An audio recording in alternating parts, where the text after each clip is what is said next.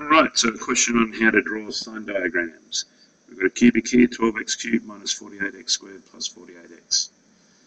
You probably won't be asked for sign diagrams in your IB exam. They'll probably just ask you to sketch them or to solve equations and you'll need to be able to figure it out anyway.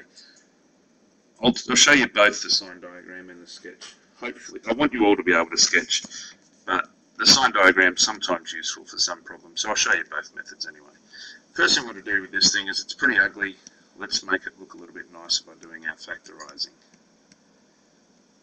So I take out the common factor of 12x, leaves me with x squared. Take 4x plus 4. You'll recognise the right-hand term there is a perfect square. So f of x is equal to 12x times x take 2 all squared.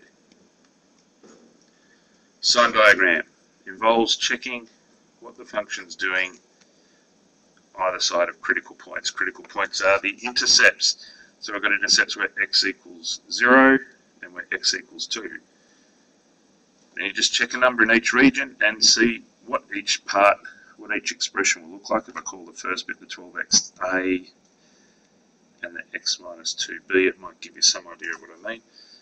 So when I am to the left of 0, term a, the 12x, will be negative, Term b, well that's going to be positive everywhere because I've got x minus 2 being squared.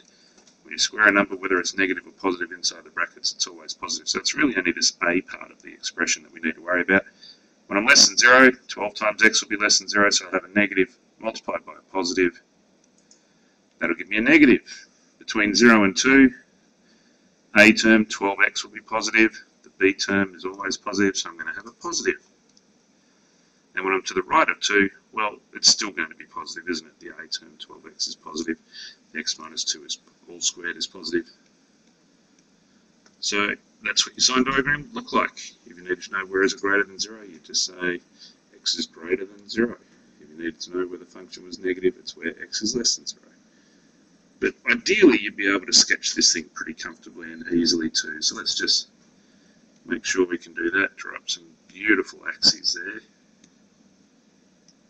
mark my intercepts, one at the origin, the other one at 2.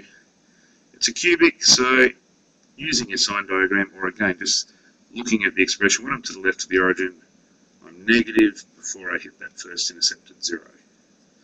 The x minus 2 being squared means that there's a repeated root there, so the equation is just going to touch it at the point 2, and then it's going to continue being positive, and your cubic would look roughly like that just label that f of x because we always label our equations. So hopefully that's pretty straightforward. I'll do another one in a second, but let's see if that helps you first. All right.